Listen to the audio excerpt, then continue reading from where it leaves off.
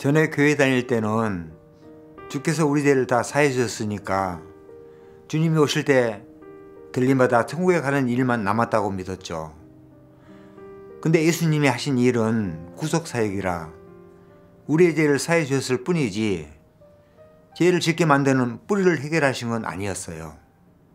말세에 사람을 심판하고 정결케 하는 전능하신 하나님의 사역을 받아들여야 완전히 죄에서 벗어나게 되고 구원받아 하나님 나라에 들어갈 수 있어요.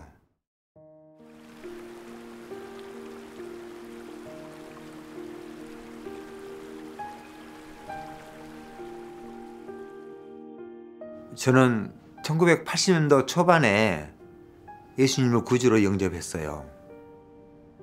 그때 교회에서 많이 들은 구절이 있는데 너희가 그 은혜를 인하여 믿음으로 말미암아 구원을 얻었나니 이것이 너에게서 난 것이 아니요 하나님의 선물이라.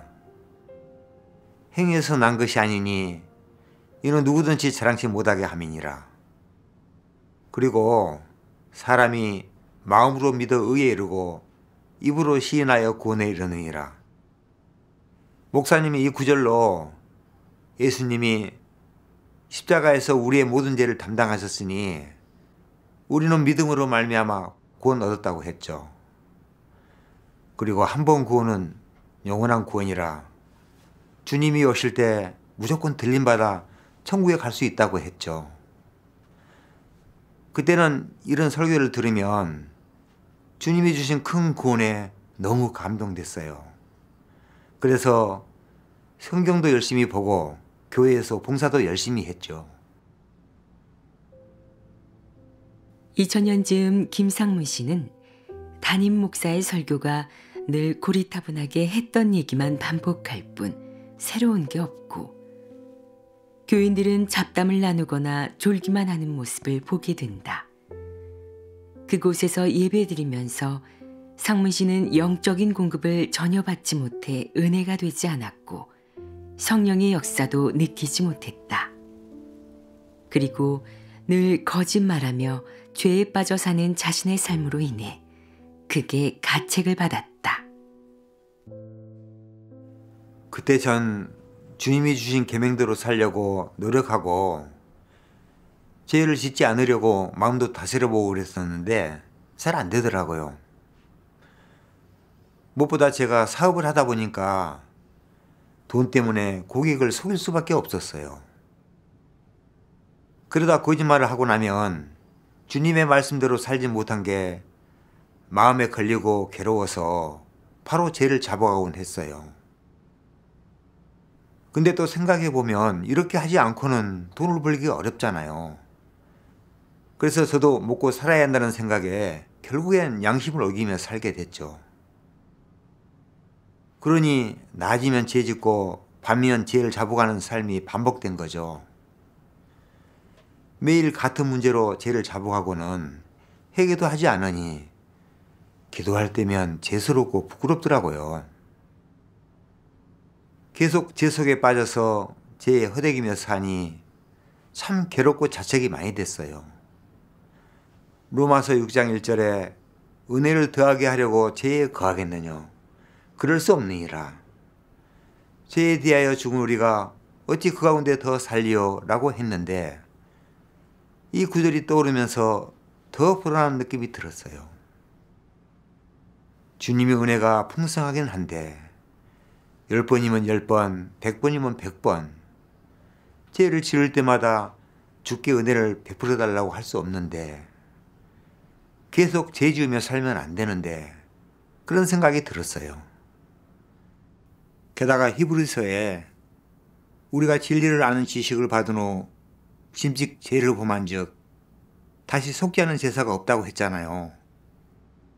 좀 혼란스럽더라고요. 목사님은 우리가 믿음으로 어렵다 칭함 받았기 때문에 천국에 갈 수 있다고 했는데 이 구절에는 고의로 죄를 범하면 속지 않은 제사가 없다고 하잖아요. 그러니 믿음으로 없다 칭함 받고 구원을 얻으면 정말 천국에 갈 수 있는지 의구심이 들더라고요. 이 문제가 궁금했던 상문 씨는 주께 이에 관한 비밀을 깨닫게 해달라고 기도하면서 하루빨리 죄의 매임에서 벗어날 수 있기를 간구했다. 그리고 답을 얻기 위해 여러 교회를 찾아보기로 했다. 그러다 성경풀이를 주로 하는 교회를 찾게 됐어요. 그런 교회에 가면 성경의 비밀은 물론이고 죄에서 벗어날 수 있는 길도 찾을 수 있겠다 싶었죠. 근데 정작 가서 들어보니 주님을 증거하거나 주님을 알아가는 길로 이끄는 게 아니라 오히려 강단에 서서 서로 누가 성경풀이를 더 잘하는지 비교하고 서로 헐뜯기 바빴죠. 그냥 성경 이론이나 신학 지식을 이야기하는 것 뿐이지 전혀 빛비침이 있는 설교는 아니었어요. 그런 곳에서는 죄에서 벗어나는 길을 찾을 수는 없어 보이더라고요.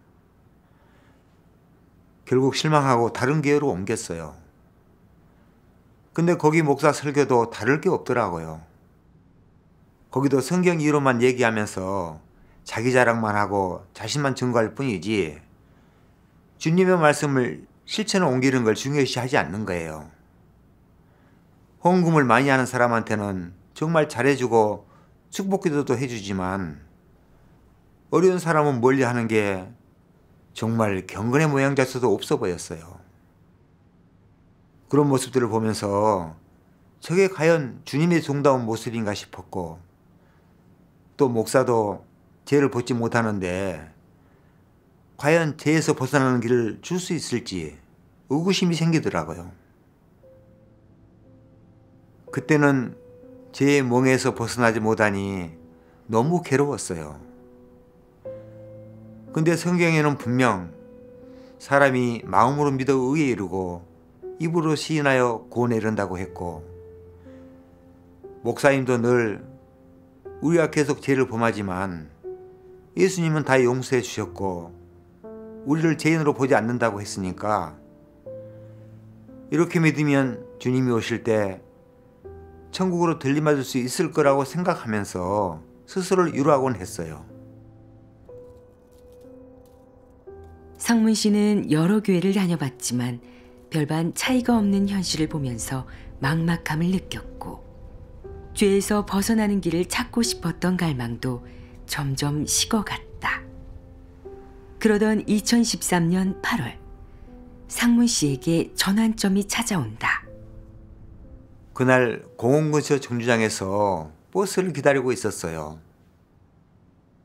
근데 길 옆에 여자분 몇 명이 테이블을 놓고 전도를 하는데 그 옆에 구주는 이미 흰구름을 타고 돌아왔다 라는 배너가 보이더라고요. 처음엔 관심이 없었어요. 어차피 어느 교회를 가든 설교에 새로운 빛이 없고 시기 질투와 분쟁만 가득하니 그 교회도 별반 다르지 않을 거라고 생각했거든요. 그러고 있는데 그때 한 분이 와서 교회 다니냐고 물어보더니 예수님이 돌아오셨다면서 전도지를 주며 한번 보라고 하는 거예요. 평범한 말씀이 아니라 죄에서 벗어나게 하는 말씀이고 진리와 생명을 얻을 수 있는 말씀이라면서 읽어보라고. 관심이 없어서 듣는 둥 마는 둥 하다 버스가 오길래 탔죠. 그런데 버스에 타고 나서 아까 그 여자분 말이 계속 떠오르는 거예요. 그러면서 죄를 벗지 못해 괴로워하고 해결책을 찾아 헤매던 제 모습이 떠올랐죠. 주님의 재림을 기다려왔던 사람으로서 죄에서 벗어나게 하는 말씀이 있다고 하면 자세하게 좀 물어봤었어야 했는데 너무 아쉽더라고요. 그래서 어떤 내용인지 보고 싶어서 일을 보고 돌아오는 길에 다시 거기에 들려 복음 책자 한 권을 받아가지고 왔어요. 집에 와서 바로 봤죠. 근데 낯선 단어들이 있어서 그냥 대충 훑어보고는 한쪽에 놔뒀어요. 그리고 한 일주일 정도 지났을까요? 주님이 오셨다고 하던 그 여자분 말이 자꾸 생각나는 거예요. 그리고 책자에서 봤던 내용이 희미하게 떠오르더라고요. 너는 이 책을 펼칠 때 연구해 보겠다는 마음을 가졌을 수도 있고 받아들이겠다는 마음을 가졌을 수도 있다. 내가 어떤 태도를 가졌던 이 책을 쉽게 포기하지 말고 다 읽어보길 바란다. 그러니까 마음에 더 걸렸어요. 주님의 재림은 절대 가볍게 대할 일이 아니잖아요. 조심히 신중히 대하는 게 맞죠. 근데 전 내용을 제대로 보지 않고 그냥 조금 보다가 말았는데 너무 경솔했어요. 그래서 다시 꺼내서 진지하게 읽어봤어요. 한 열흘에 걸려 그 책을 다 봤는데 깜짝 놀랐어요. 안에 하나님은 사람 생명의 근원이다. 하나님은 전 인류의 운명을 주재한다. 구주는 이미 흰구름을 타고 돌아왔다. 성육신의 비밀. 말세의 그리스도만이 사람에게 영생의 도를 줄 수 있다. 등의 많은 말씀이 있었는데 하나님께서 어떻게 인류의 운명을 주관하시는지 분명하게 알려주고 있었어요. 그리고 하나님 이름에 관한 비밀, 하나님 사역에 관한 비밀도 다 말씀하셨는데 말씀의 곤변한 능력이 느껴지면서 절대 사람이 할 수 있는 말이 아니란 생각이 들더라고요. 그 책의 말씀이 하나님이 음성일지도 모르겠다는 생각이 들었고 이 말씀을 하신 분이라면 분명히 돌아오신 구주일 거라는 느낌이 들면서 정말 기뻤어요. 그 책을 다 본 후 상문 씨는 전능하신 하나님 교회에 대해 알아보고 싶은 마음이 생겼다. 그래서 바로 교회에 연락을 취했다. 전능하신 하나님 교회에 가서 그동안 제가 주님을 믿으면서 겪었던 일들 그리고 혼란스러운 문제를 다 말했어요. 그때 정윤수라는 형제님이 이렇게 교제해 주시더라고요. 많은 사람들이 예수님이 십자가에 달려 우리 죄를 속량하셨으니 우리는 믿음으로 말미암아 구원을 얻었다고 믿어요.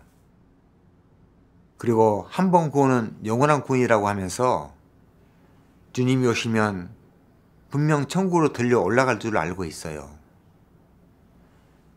근데 이런 생각이 과연 옳은 걸까요? 예수님이 우리 죄를 사해 주신 건 확실해요. 근데 주님이 제사함 받으면 다 정결해진 거고 제사함만 받으면 천국에 간다고 하셨나요? 천국에 갈 수 있는 사람에 대해서 예수님이 말씀하셨어요. 나대로 주여 주여 하는 자마다 천국에 다 들어갈 것이 아니요 다만 하늘에 계신 내 아버지 뜻대로 행하는 자라야 들어가리라. 이 말씀처럼 천국에 들어가는 사람은 하나님 뜻대로 하는 사람이에요. 그러니까 하나님 말씀대로 사는 사람, 죄악에서 벗어난 정결함을 입은 사람을 말해요. 근데 우린 지금도 매일 죄를 짓고 거짓말하면서 죄 속에서 살고 있잖아요. 그런 사람이 어떻게 하나님 나라에 들어갈 수 있겠어요? 목사들이 믿기만 하면 천국에 간다고 하는 건 성경에 있는 바울의 말에서 얻은 결론이에요. 바울은 한낱 사람일 뿐이에요. 그가 한 말은 진리가 아닌 거예요. 그래서 천국에 들어가는 근거와 기준이 될 수 없는 거죠. 천국에 들어가는 문제는 예수님의 말씀을 기준으로 놓고 봐야 정확해요. 사람의 말을 기준으로 삼으면 쉽게 치우치게 되고 하나님을 대적할 수 있어요. 형제님의 교제를 듣는 순간 정신이 번쩍 들더라고요. 맞는 말이잖아요. 예수님은 분명 하늘에 계신 아버지의 뜻대로 행해야 천국에 들어간다고 하셨지 믿기만 하면 들어간다고 하지 않으셨어요. 난 왜 이런 걸 생각하지 못했을까 싶고 믿음으로 구원 얻어 천국에 간다는 건 주님의 뜻과 다른 것 같더라고요. 그건 잘못된 이해죠. 주님의 말씀을 근거와 기준으로 삼아야 정확한 거죠. 제가 고개를 끄덕이니까 형제님이 계속 교제했어요. 신약에서 말하는 구원은 뭘 의미하는지도 분명히 알아야 해요. 율법 시대 말기에 이스라엘 백성이 율법을 지키지 못했고 모두 죽어야만 하는 처지에 놓였었어요. 그때 그들에게 뭐가 필요한지를 아시고 하나님이 육신을 입고 세상에 오셨어요. 오셔서 회개의 도를 주시고 십자가에 달려 구속을 이루셨죠. 그래서 진심으로 주님을 구주로 영접하고 죽게 죄를 자복할 때 주님은 그 사람을 더 이상 죄인으로 보지 않으시고 죄를 용서해 주셨어요. 다시 말해서 율법 아래서 지은 모든 죄가 예수님의 구원으로 사함받은 걸 말해요. 그게 은혜 시대에서 말하는 구원이에요. 은혜 시대의 구원은 율법에 의해 정죄받지 않고 용서받았다는 걸 뜻하는 거지. 죄악에서 벗어나 정결케 되고 천국에 갈 수 있는 사람이 됐다는 걸 뜻하는 게 아니에요. 그리고 전능하신 하나님 말씀 영상을 보여줬어요. 예수가 당시에 행한 사역은 전 인류를 속량하는 것이었다. 그를 믿는 자는 죄 사함을 받았다. 그를 믿기만 하면 속량받았고, 그를 믿기만 하면 죄에 속하지 않고 죄에서 벗어났다. 이것이 바로 구원을 얻은 것이고, 믿음으로 의롭다 칭함받은 것이었다. 하지만 믿는 자에게는 거역하고 대적하는 것들이 여전히 남아 있는데 이것은 조금씩 벗어버려야 한다. 구원을 얻었다 함은 사람이 예수에게 온전히 얻어졌다는 것이 아니라 죄에 속하지 않고 죄 사함 받았다는 것을 뜻한다. 그를 믿기만 하면 영원히 죄에 속하지 않게 된다. 사람이 속량받기 전에 이미 사탄의 많은 독소가 사람 안에 심어져 있었다. 사람은 수천 년 동안 사탄에 의해 폐괴되었고, 내면에 하나님을 대적하는 본성이 자리 잡게 되었다. 그러므로 구속받은 것은 그저 속량받은 것에 불과하다. 즉, 비싼 값을 치르고 사람을 사온 것이다. 하지만 사람 내면에 있는 독성은 제거되지 않았다. 이렇게 더러운 사람은 변화되는 과정을 거쳐야만 하나님을 섬길 자격을 가질 수 있다. 사람 안에 죄가 없는 것이 아니라 사람이 성육신 하나님을 통해 죄 사함을 받은 것이었다. 사람이 죄를 지으면 속죄 제물로 사함을 받을 수 있었다. 하지만 어떻게 해야 죄를 짓지 않고 죄성을 완전히 벗어버리며 죄성을 변화시킬 수 있는가 하는 문제는 사람이 해결할 수 없었다. 사람은 하나님의 십자가 사역으로 죄 사함을 받기는 했지만 여전히 사탄의 폐괴된 옛 성품 안에서 살고 있다. 따라서 사람을 사탄의 폐괴 성품에서 완전히 구원해야 하며 죄성을 완전히 벗겨버리고 더 이상 발전하지 않게 하여 성품이 변화되도록 해야 한다. 그러기 위해서는 사람에게 생명이 자라나는 길과 생명의 도, 성품이 변화되는 과정을 알게 해야 하고 그 길을 따라 실행하게 함으로써 점차적으로 성품의 변화를 받고 빛 비춤 아래에서 살도록 해야 한다. 아울러 사람이 하는 모든 일이 하나님의 뜻에 맞도록 하고 사탄의 폐괴 성품을 벗어버리게 하며 사탄의 흑암 권세에서 벗어나 죄에서 완전히 나올 수 있게 해야 한다. 그래야만 사람이 완전한 구원을 받게 된다. 형제님이 계속 교제했어요. 은혜 시대에 예수님이 하신 사역은 단지 죄를 성량해 주신 거예요. 하지만 죄의 본성, 사탄의 성품은 여전히 우리 안에 깊이 뿌리 박혀 있죠. 예를 들면 교만함, 간사함, 사감, 흉악감 등이 있는데 이런 것들은 죄보다 더 깊이 뿌리 박혀 있는 고질적인 것들이에요. 이런 것들을 뿌리 뽑지 않으면 계속 죄를 짓고 하나님을 대적하는 일들을 할 수 있어요. 평소에 우리는 자기 이익을 위해서 돈을 위해서 거짓말하고 남을 잘 속여요. 또 세상의 흐름을 쫓아 하나님을 멀리하고 시련이나 환난이 닥치면 하나님을 판단하고 원망도 하죠. 명성과 이익을 위해 싸우고 다른 사람을 시기 질투하고 당을 짓는 등의 행동도 해요. 이건 부인할 수 없는 사실들이죠. 이런 사탄 성품이 해결되지 않으면 계속 사탄 권세 아래 사는 거고 도로 운전자에 속하는 거예요. 그럼 또 죄를 짓고 하나님께 맞서게 되는데 천국에 갈 수 없는 거죠. 그래서 예수님이 돌아오신다고 약속하신 거고 말세에 전능하신 하나님이 오셔서 진리의 말씀을 선포하셨고 하나님 집에서 심판을 시작하셨어요. 바로 인간의 죄의 본성과 사탄 성품을 해결하기 위해서예요. 인류를 온전히 정결케 하고 구원하시는 거죠. 이 사실로 성경의 예언이 이루어진 걸 볼 수 있어요. 베드로전서 4장 17절에 하나님 집에서 심판을 시작할 때가 되었다고 한 말씀. 그리고 요한복음 12장 48절. 나를 저버리고 내 말을 받지 아니하는 자를 심판할 리가 있으니 곧 나의 한 그 말이 마지막 날에 저를 심판하리라.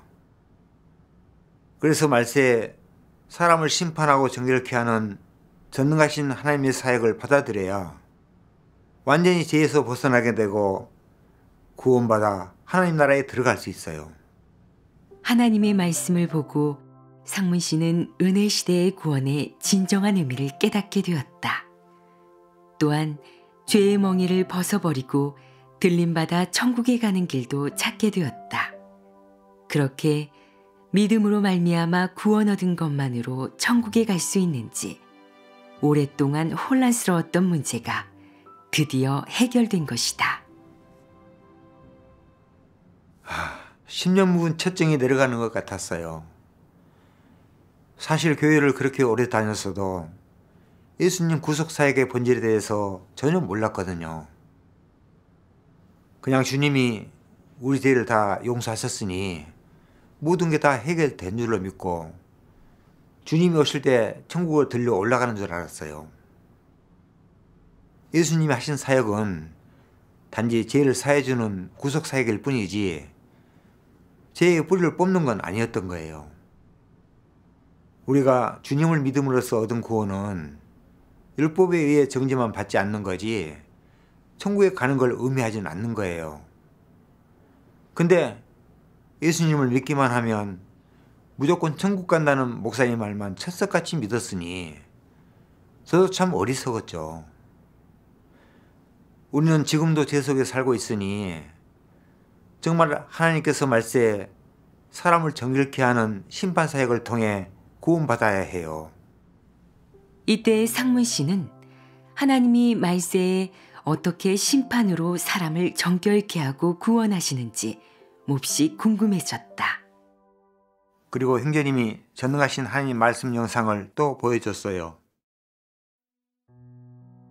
말세의 그리스도는 다방면의 진리로 사람을 가르치고 사람의 본질을 폭로하며 사람의 언행을 분석한다. 그런 말씀에는 다방면의 진리가 포함되어 있다.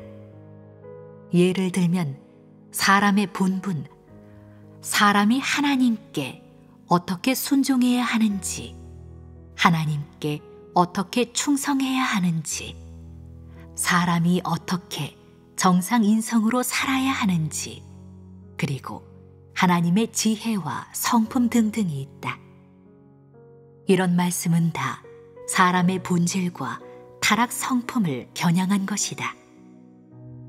특히 사람이 어떻게 하나님을 저버렸는지를 폭로하는 말씀들은 더더욱 사람이 원래 사탄의 화신이고 하나님의 적대 세력이라는 것을 겨냥해 말한 것이다.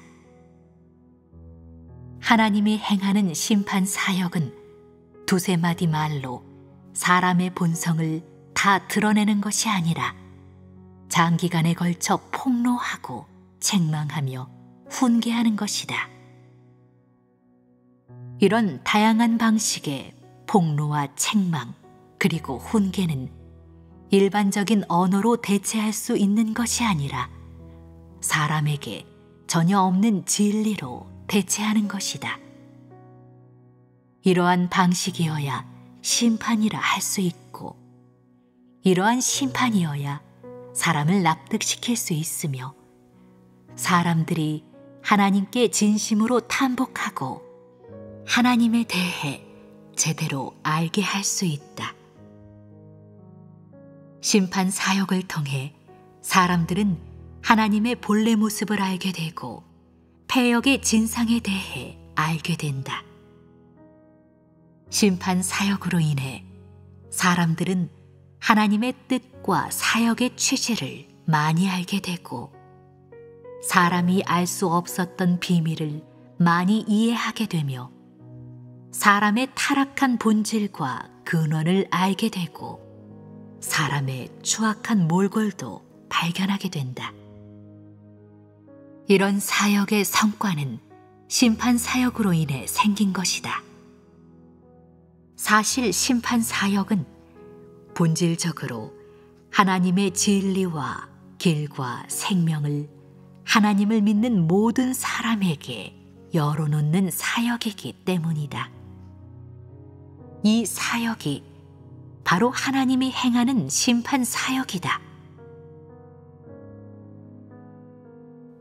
심판하고 형벌하는 이번 단계의 사역으로 사람은 자기 안에 있는 더럽고 폐괴된 본질을 완전히 깨닫게 될 뿐만 아니라 완전히 변화되어 정결한 사람이 될 수 있다. 그래야만 비로소 하나님의 보좌 앞으로 돌아올 자격이 주어진다. 하나님의 말씀을 읽고 형제님이 계속 교제를 했어요.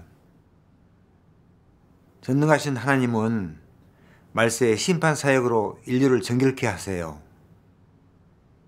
이 폐기된 인류가 정결케 되고 구원받기 위해서 꼭 깨달아야 할 진리를 다 선포하셨어요.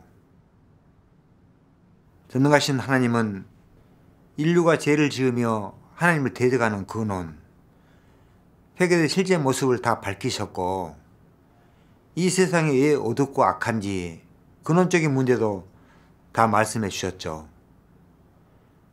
또 이 인류를 향한 하나님의 마음과 요구도 다 알려주셨고 회개 성품에서 벗어나 정결게 되는 길도 가르쳐 주셨어요. 우리는 하나님의 말씀을 보고 모두 탐복했고 말씀의 심판과 형벌을 겪으면서 자신이 사탄에 의해 정말 깊이 폐기되었다는 걸 알게 됐어요. 착한 행실도 하고 확연하게 드러나는 죄는 안 짓지만 속은 사탄의 성품으로 가득 차 있다는 걸 보게 됐죠. 예를 들면 교만하고 스스로를 크다 하고 강교하고 진리를 싫어하고 강팍하고 사간 등등의 모습이 있죠. 이런 사탄의 성품이 바로 우리를 죄짓게 만들고 하나님을 대적하게 만드는 근원이에요. 하나님께서 폭로하신 말씀에 비춰보니까 사탄에 의해 폐괴된 저희 모습이 점점 더 보이더라고요. 그때서야 그런 제 자신을 증오할 수 있게 됐고 하나님의 걸어가고 공의로운 성품과 본질에 대해서도 실제적으로 알게 되면서 경외심을 갖게 됐어요. 또 진리 실행을 중시하게 되면서 진정한 회개와 변화에 이르고 하나님을 경외하고 순종하게 됐죠. 이런 결실은 다 하나님의 말세 심판 사역을 경험해서 얻은 거예요. 그리고 형제님은 하나님 말씀으로 심판 형벌 받은 간증도 들려줬는데 그때 저는 폐기된 사람이 정결케 될 수 있는 유일한 길은 전능하신 하나님 말세 사역을 받아들여서 하나님 말씀의 심판 형벌을 받는 것밖에 없다는 걸 알게 됐어요. 그래야 사탄 성품이 정결케 되고 변화되고 진정으로 죄의 사슬에서 벗어날 수 있어요. 하나님이 이렇게 하시는 심판 사역은 너무 현실적이에요. 이렇게 죄에서 벗어날 수 있는 길을 찾게 됐고 하나님을 맞이하고 따라갈 수 있게 됐다는 사실에 가슴이 벅찼어요. 이보다 더 큰 복이 어디 있겠어요. 이 큰 구원을 주신 전능하신 하나님께 너무나 감사드립니다.